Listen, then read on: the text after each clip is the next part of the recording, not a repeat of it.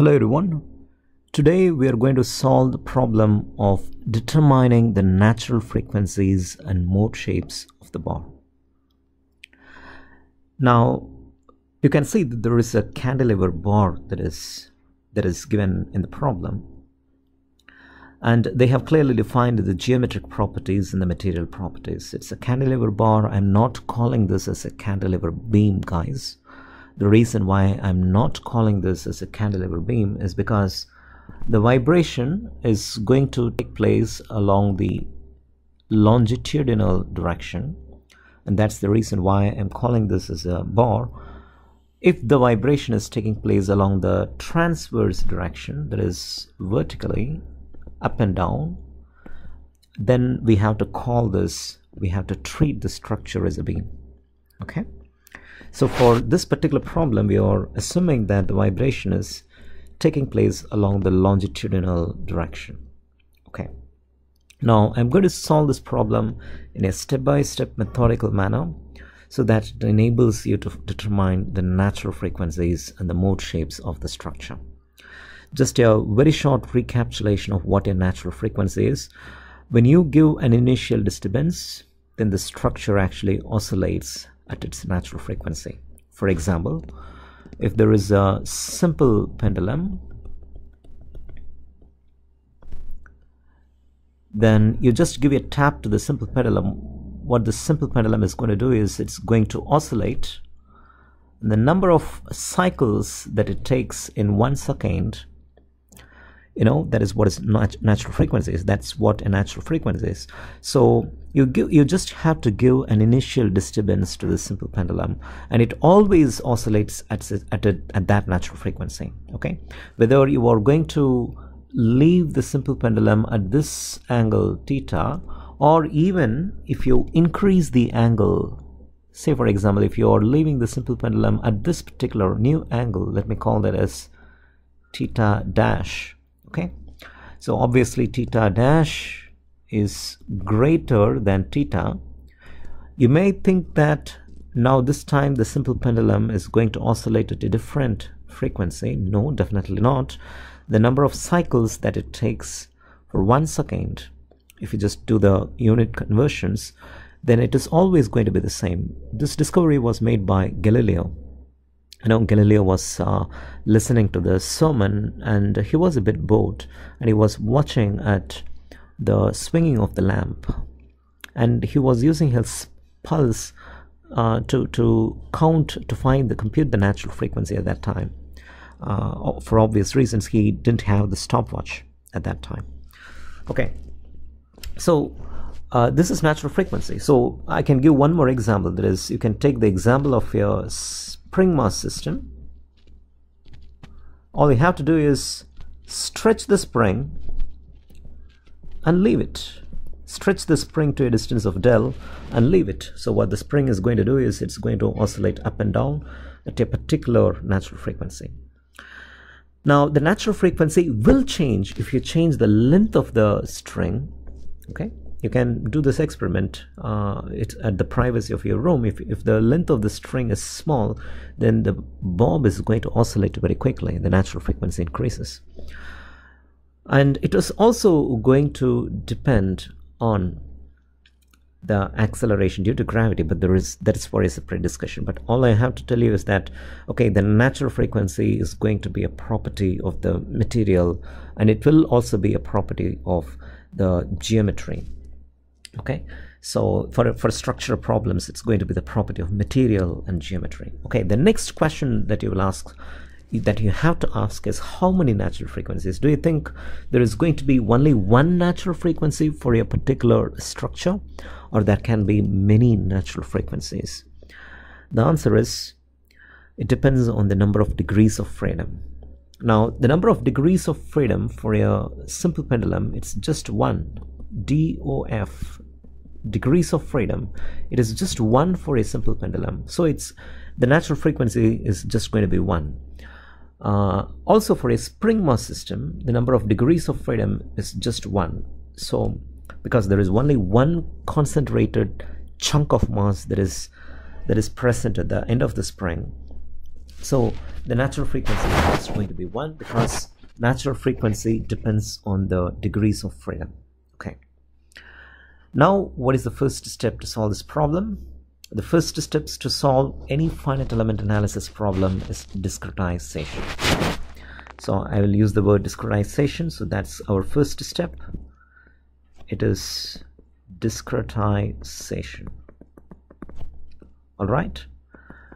So you are going to discretize the structure into two elements. So this is going to be our element number one, and this is going to be our element number two. The length of element one, I will call this as small l. The length of element two, I'll call this a small l, which means that small l in our case is equal to capital L over 2. Now, we are doing this problem manually if you're allowing a software to do this problem then of course you can discretize this into many number of elements maybe even thousands of elements and you will have many natural frequencies.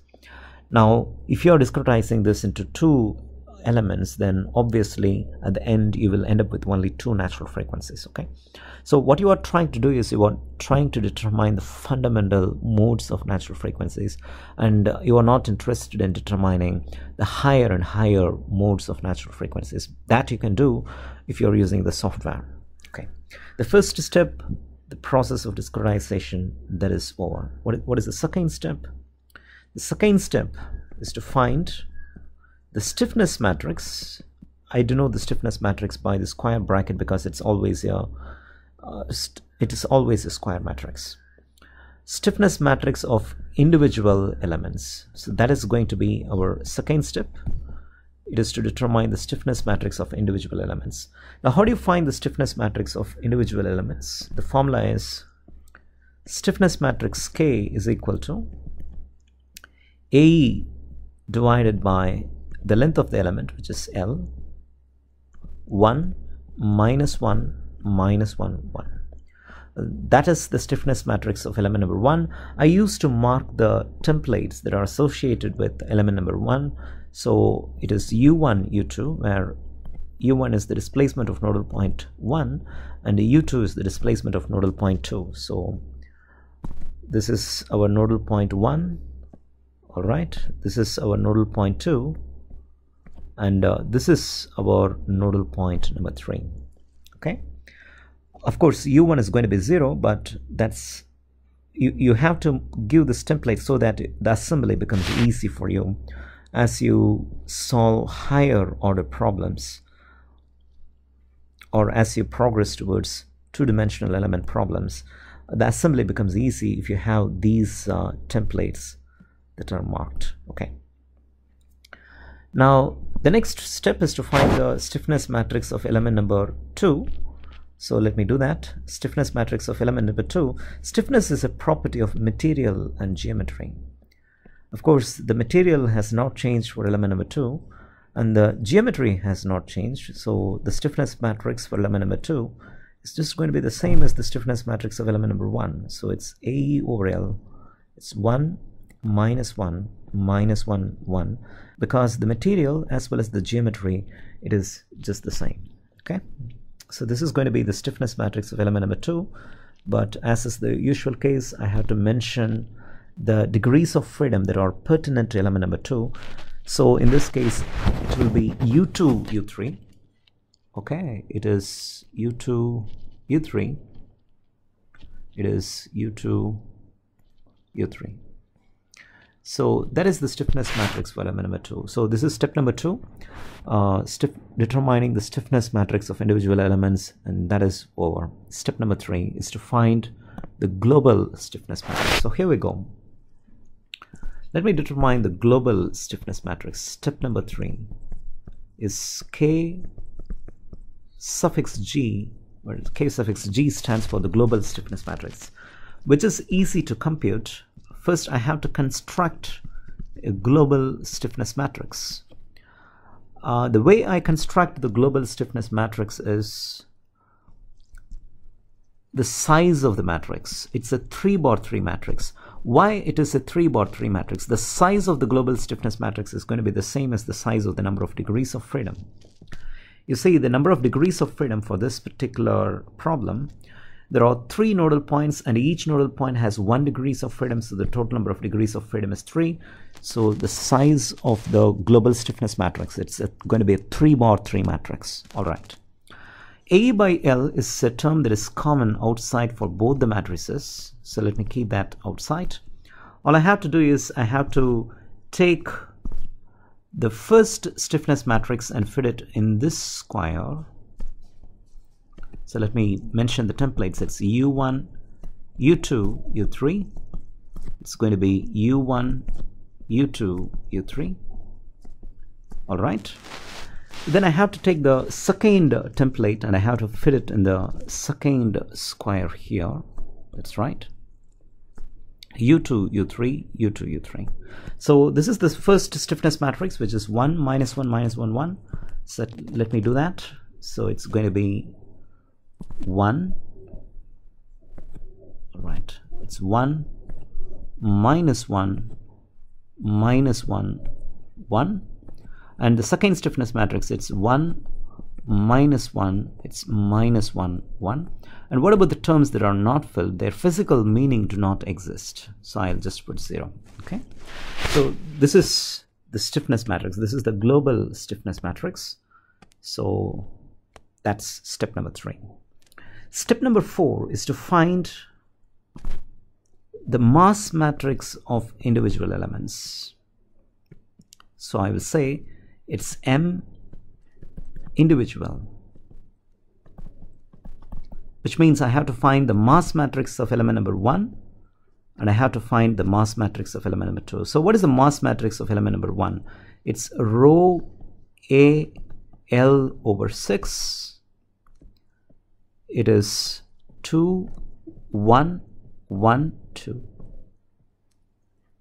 So that is the mass matrix of the first element. Okay. And the mass matrix of the second element because there is not going to be a change in geometry or material it's going to be the same as the mass matrix of element number two. I'm sorry element number one. So the mass matrix of element number two because there is not going to be a change in material or the geometry it's just the same. It's rho al over 6 it's uh, 2 1 1 2 I forgot to mention the degrees of freedom. You have to do that. So it's going to be u1 u2 it's uh, u1 u2 so that your assembly is easy.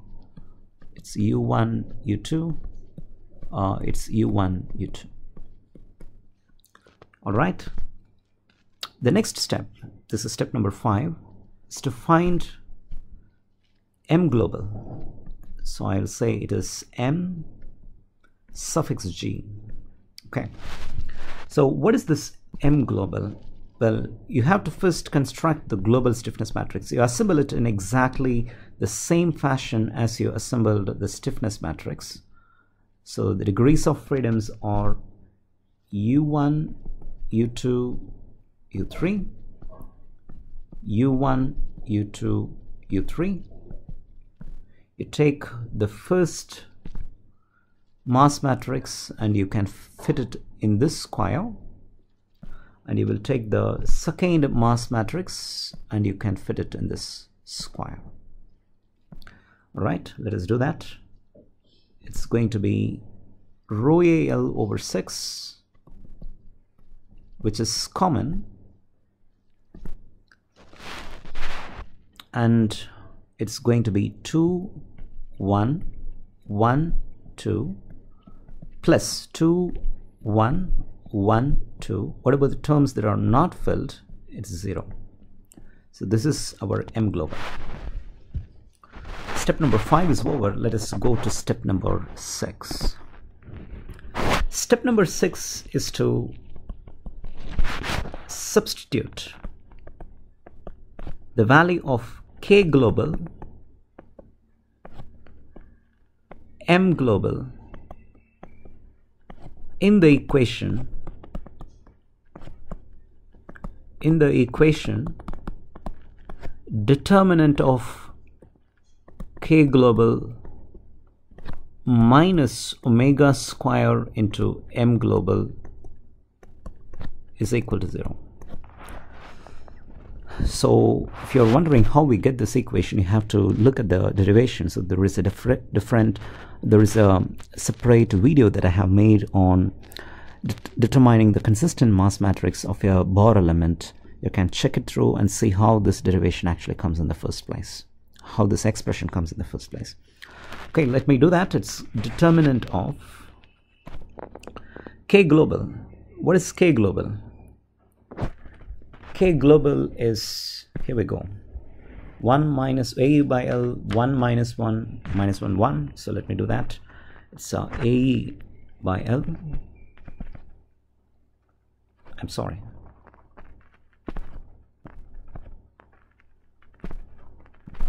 All right, it is determinant of A over L. It is 1 minus 1 0 minus 1 2 minus 1 0 minus 1 1 minus omega square into m global which is 2 1 0 it is 1 4 1 it is 0 1 2 and that is equal to 0 now in the next step all I have to do is apply the boundary conditions okay? So let me apply the boundary conditions. So step number seven here we go is to apply the boundary conditions. So we have already seen how to apply the boundary conditions. All I have to do is get rid of the first column first row completely and also the first column completely you don't need them because you just have two um, field variables to be determined. You just don't need three equations for two field variables. You just need two equations. Okay? All right. The next step what I'm going to do is I'm going to divide this expression. I think I missed rho AL over 6 here. I'm sorry about that. Rho AL over 6 omega square into rho L over 6 that's kept outside the matrix. All right. So I'm going to divide the left hand side and the right hand side by A by L. So if I divide this by A by L and if I divide this expression by A by L and if I divide this by A by L I actually do no damage to the expression because I'm doing exactly the same to the left and the right. All right. So what happens now? It's determinant of it's going to be 2 minus 1 minus 1 1 all right. Minus. Now what do you think is going to happen to this term? This term becomes rho l square omega square divided by 6e followed by it's 4 1, 1, 2. That determinant should be equal to 0. And let me call, allow me to call this entire expression as lambda. And I'm going to hit this matrix with lambda. So I have to take this lambda and multiply with each and every term there and let me subtract the two matrices. So what is that I'll be getting? I'll be getting 2 minus 4 lambda, determinant of minus 1 minus lambda. It's minus 1 minus lambda. It's 1 minus 2 lambda. That determinant should be equal to 0. And remember, lambda is equal to rho L square omega square divided by 6e. Now I'm going to find the determinant. I will multiply with this term and subtract it with this term. So I can end up with a quadratic equation now. All right. So in the next step, I'm going to take those two terms. So I will be getting 2 minus 4 lambda into 1 minus 2 lambda. minus of minus of minus 1 minus lambda into minus 1 minus lambda. Okay. I you can do the multiplication in the privacy of your room, but if you just do these two multiplications and these two multiplications, maybe you want to take the minus sign outside. So first time it becomes plus, also the minus sign outside. So you can put uh, plus here and you will this term will stay minus okay? Okay. If you solve this and that is equal to zero if you solve this multiply this you'll be getting this expression 7 lambda square minus 10 lambda plus 1 is equal to 0 now you can find the expression for lambda by using the formula minus b plus or minus square root of b squared minus 4ac divided by 2a or alternatively you can use the calculator for the university examination. This uh, you, you make sure that your calculator conforms to the rules of the university examination. You can use the calculator and you can compute the value of lambdas in split seconds because uh, you will have you're going to have two values of lambda. So let me mention that. The first value of lambda is going to be 1.3 203 if you just work out the mathematics uh, the second value of lambda is going to be 0 0.108194 you can check it. So these are the values of lambda. Now you can compute the respective natural frequencies now. All right. You can do that because lambda is rho l square omega square divided by 6e and that is equal to 1.3203. This allows you to find the value of omega. It's going to be plus or minus. I'm deliberately ignoring the negative sign because determining the natural frequency in radians per second but a negative sign doesn't make much sense, any sense. So it's going to be 2.81 4 5 divided by L the square root of E over rho. And I can find the value of the natural frequency by dividing. This is going to be our first value of uh, the natural frequency in radians per second. But if I want to find the natural frequency in cycles per second, I have to divide the omega by 2 pi to compute it in cycles per second or hertz. So I'll be getting 0 0.4479 divided by L the square root of E over rho.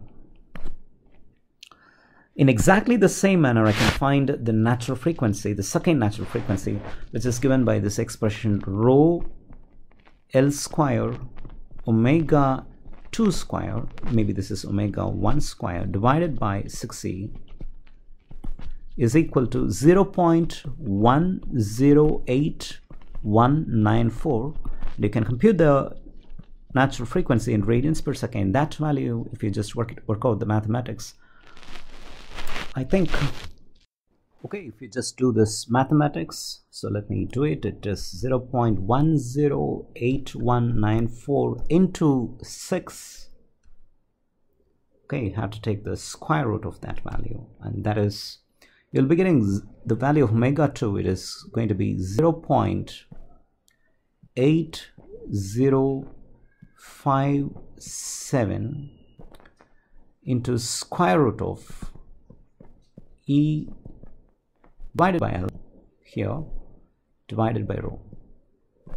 And if you just find the, the natural frequency, then second natural frequency of this particular, uh, for, for this particular mode, the second natural frequency in terms of cycles per second, you just have to divide this value by 2 pi so you'll be getting omega 2 divided by 2 pi and that is going to be 0 0.128 into square root of E over rho. And uh, this unit is cycles per second, or you can simply call that as Hertz, named in commemoration of the person Hertz. Okay, now you have computed two natural frequencies, so now you know where the story is heading. If you discretize this structure into more number of elements, then you are going to end up with more number of natural frequencies. And why do we find the natural frequency? Just to make sure that the forcing frequency is not very well separated, is very well separated from the natural frequency. If they are, if there is going to be a match between the forcing frequency and the natural frequency, then the system is going to collapse. Okay. For example, you can substitute the value of Young's modulus uh, and the density of the material and the value of the length, and you can find the value of natural frequency in cycles per second. So let me also do that. Uh, for one one for one problem, let us say that we are let us find the natural frequency for steel.